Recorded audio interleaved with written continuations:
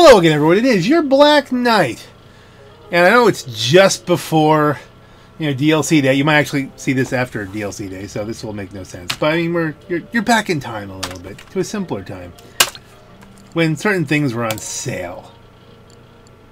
And where is it here? The Corsita.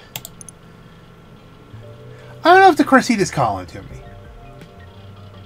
Blood pressure rising, heart rate increasing, body temperature, you know, comparable to the core of a freshly microwaved pizza pocket. Hot pockets! Well, don't panic if you feel the urge to grab a fistful of lotion. Okay, uh, these are all the normal symptoms of contact with the Corsita. It is a Lampadati. I don't know that it's calling to me though. It's only one point. It's, it's five hundred thousand dollar savings, but am I going to choose that over over other vehicles? Probably not. I have Chinkabilas, the Pfister Astron. Not sure. I mean, it's a Porsche. So reliable, so much control. The Astron brings order to the chaos of Los Santos. Now, when you hear the word unstable, marred by pedestrians, you could just you're not talking about the car. Okay, so maybe. I mean, how often do I do SUV races? And I've got. I mean, I've got all kinds of fast SUVs. I have to go on Broughy site and see what the plan is. Got one. Got one. Now this, this is kind of interesting. This, not so much. Because I don't think we're getting the, uh, the HSW upgrades, and that's not calling to me if we're not. The Rhinehart, though, is supposed to be really sublime. It's supposed to be just a really nice, nice kind of deal here. You're far too cool to an SUV and a sedan. You might as well get practically conical tattooed. okay, no, you're performance driven. You're an executive. You're a family of four, and not a day goes by you don't regret. Well, oh, no, that's not. I I don't regret my family of four, not an ounce. You're already a Rhinehart owner. You just don't know it yet. Well. Where did I get this on sale? For a little over a mil. We'll make it back this week as I'm probably going to still actually do some some idling with the new double money on bunker stuff that they've brought back. And the double money on all the...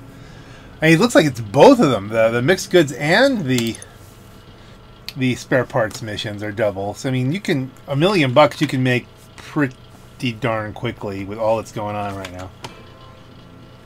Look, if you can tell, it's before the uh, the DLC day because it's you know this is supposed to happen a lot quicker now, where the cars are just supposed to show up. But I figured, hey, let's get one more build video in on this, something something cheap. I don't have a plan. I mean, it's supposed to be a high performance sedan that looks acceptable societally, so that you're you know doesn't look like you're a boy racer. I don't know which way we're going to go with this. Come on, give me my wagon.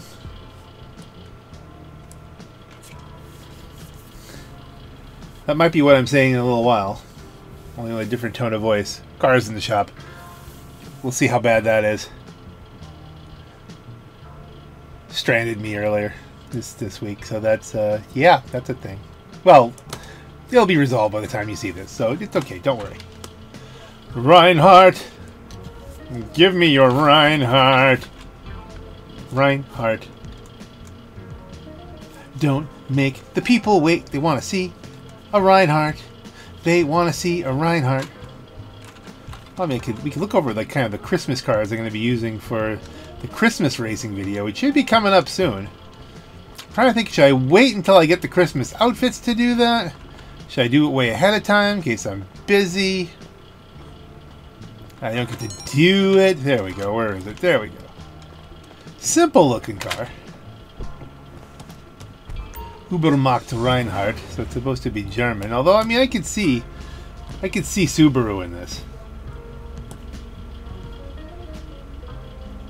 I see a lot of Subaru in this.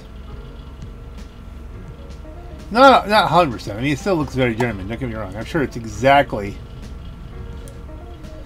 based off something. But what do we base it? What do we do here? Do we want to go?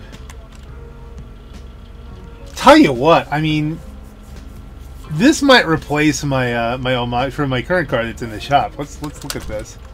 Front bumpers. We can make it crazy.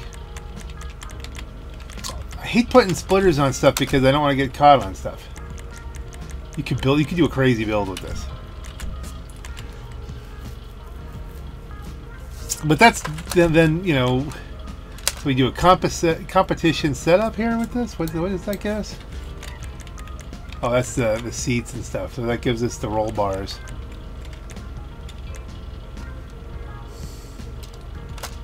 Don't know if I want that. I spent money. Yes, I know. But I'm wealthy. I can throw money around.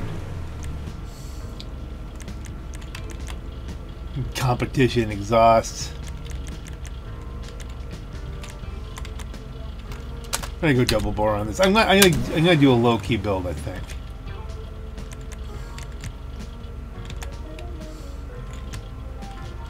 Except for the intercooler with the twin fans. That's. I don't know what I'm doing yet.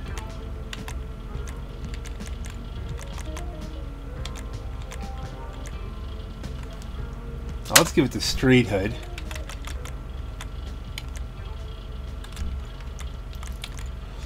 Horn will come. I, I never touched the horn. That's not really a thing. Xenon lights. Uh, okay, neon kits. Front, back, sides. Livery. What options do we have here for the livery?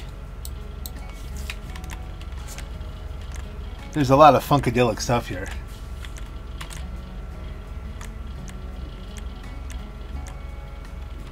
We're gonna go none for right now.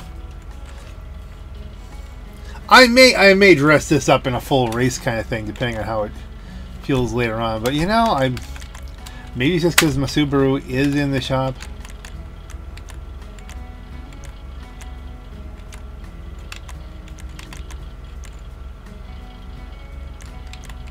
See, is it more of a midnight silver or a cast iron silver? I think the midnight silver. Let's give it midnight silver with some kind of bright pearlescent, like a yeah, an ice white. Or do we give it like the blue? Not that mine has the blue, but like that might look good too. tell you, the pearlescent only kick, picks up a little bit on this. Yeah, we'll go with that for right now. I know it's a boring build, but Secondary color. What? Looks like you have to add parts to use the secondary. Trim color.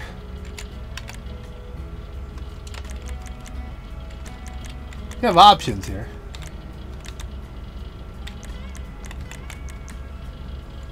That's gonna match it up. The roof. Gonna do something funky with the vortex generators and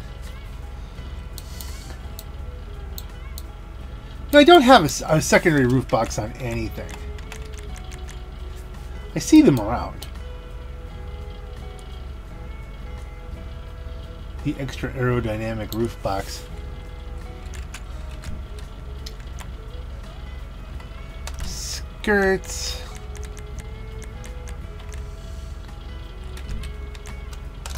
Spoiler, obviously, we need one. Oh, the teeny tiny.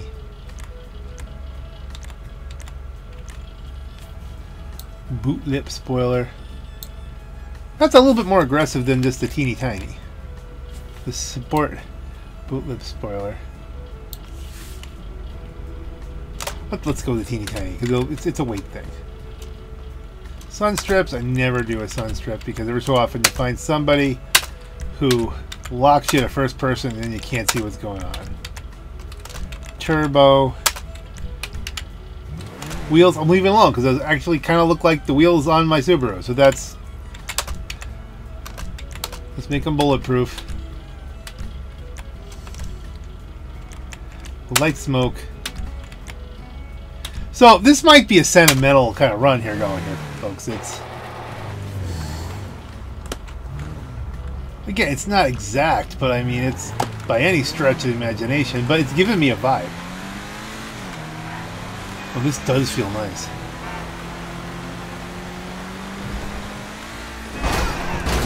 Ow. Who did that? This guy. And this guy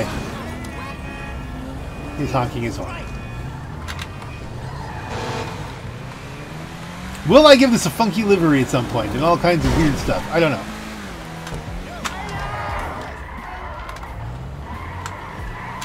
It's gonna depend on how the day plays out. oh, dearie my. Uh, you know you're in trouble when the aliens take all your oil. Where did the oil go? I don't know where. The... That kind of.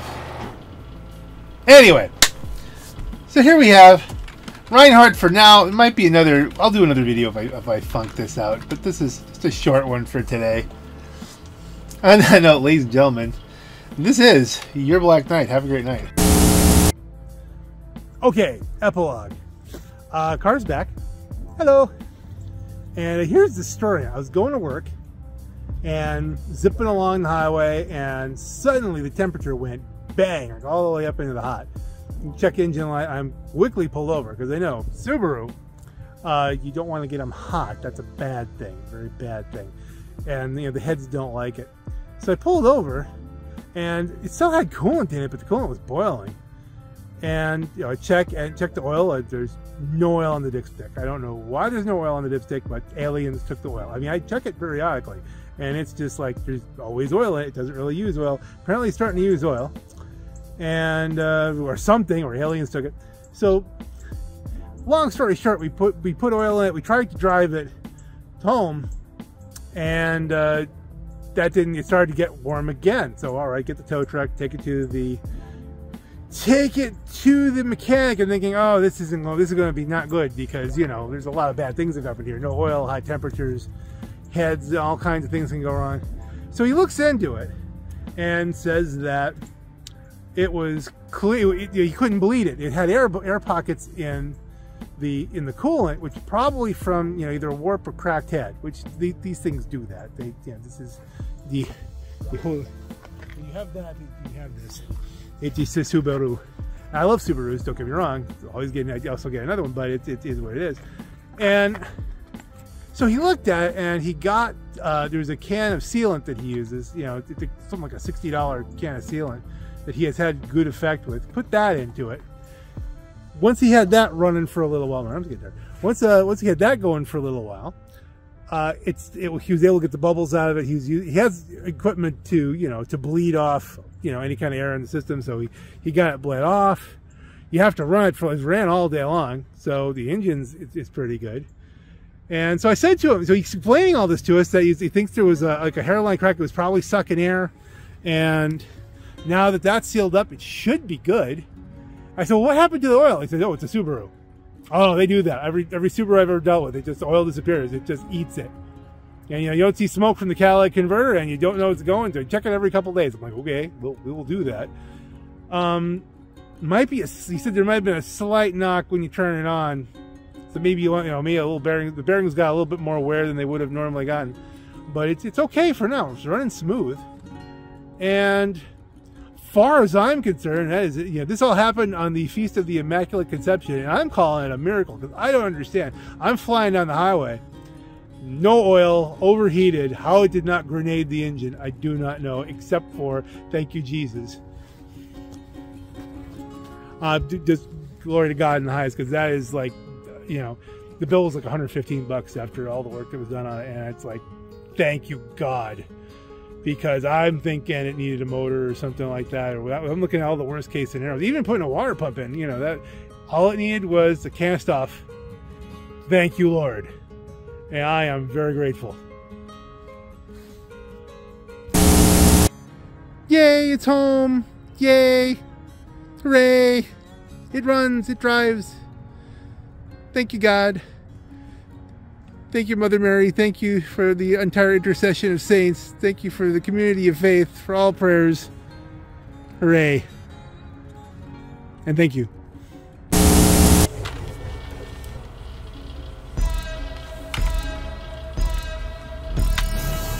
I should probably throw out some thanks here to the fine folks over at Borgna Service here in Alton, Pennsylvania. Johnny Borgna and the team always taking care of me. They really could have looked at this like, you know, Christmas is coming and the goose is getting fed. But nope, nope. They looked for the, the best result, the best... Wow! The most economic and quickest recovery for me, the client. I didn't even know that little thing was there. Alright, here we go. Little bouncy. It's got to bounce.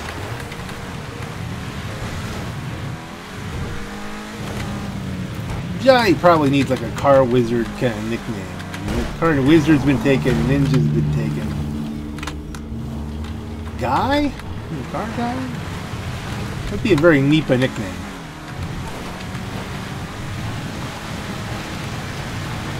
This is gonna go right in the river, isn't it?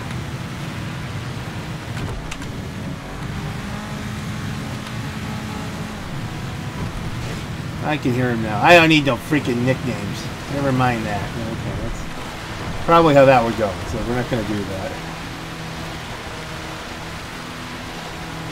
We are going to, of course, as is tradition, now I'm going to try and take this up chili. I have no question at all.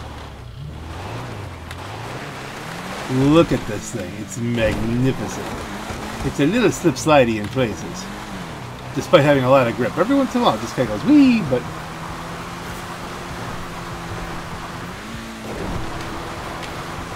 if only, if only Rockstar would update the traffic with something like this, fully modified.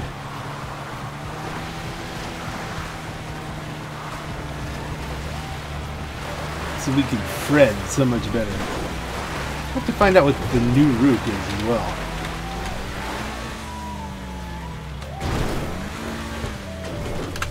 Okay, that was that was an interesting little bounce. But we're fine.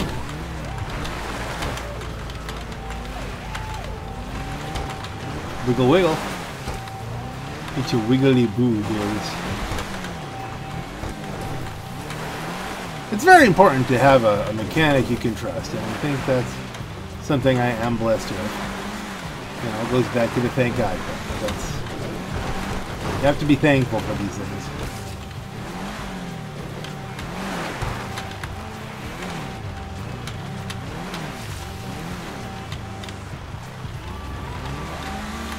I'm thankful for having the car as it is, which I realize, yeah, it's a 2009 Subaru, so you, some of you might be saying, well, big deal. But it is a very well, uh, you know, appointed leather seats, heated seats, sunroof, the whole nine yards Subaru. Very comfy. Really good car drive. Love driving it. Probably gonna have to do something with the steering at some point. Maybe a can or something. It's a little. The steering pumps, I think, is. I believe would the the area expression would be on the way out. That's the. Just when it's not going very fast. Otherwise, it's fine. Now. That was kind of spectacular and the wrong way down, but hey, you know, the, this car is making it.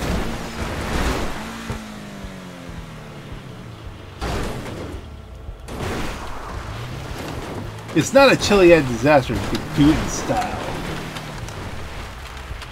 And without exploding.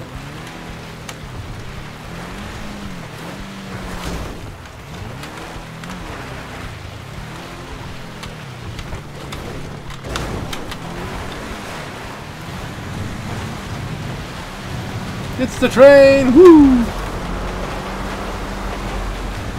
One of these days I'm going to mistime that.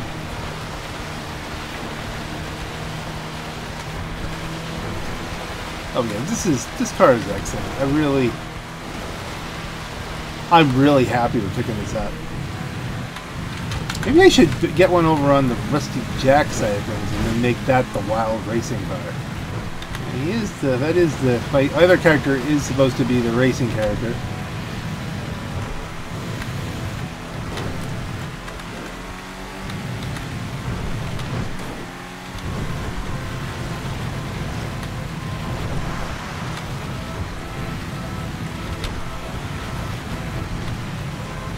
Zip along here.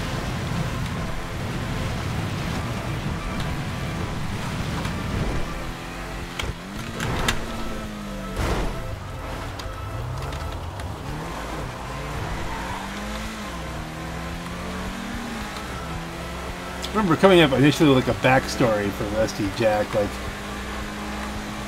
his mother was a biker and father was a mechanic in a racetrack, something, you know, something like that would tie him to everything. Or vice versa. Father was a biker, mother was a... It was supposed to be a biking tie-in, because that was back in the day when the biker businesses were really big. I thought, well, this will be my biker character, too. It'll be biking and racing. But the biker stuff is just... It does not call to me, so it doesn't really come up very often.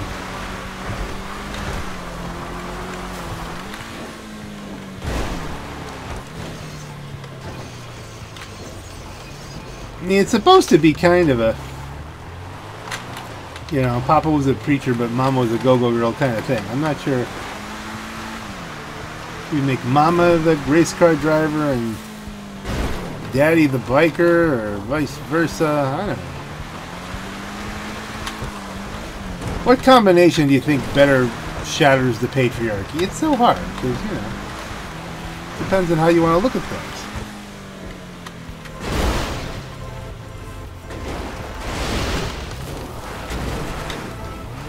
You didn't even know that was an option to go through there like that, did you?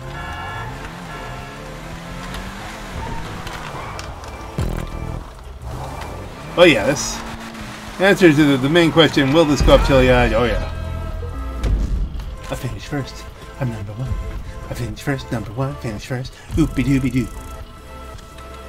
A doobie doo. I'm not going to do the Ubermacht build for Rusty Jack on this video. Hey! And, um, yeah, that's for another day. Might not even be, I might just buy it and then not build it.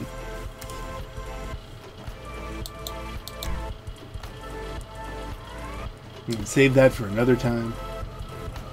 Just get the sale, but don't don't spend too much money before you know the thing. This is all bonus material, right? I already said goodbye? I think it is. We're getting. Bye again.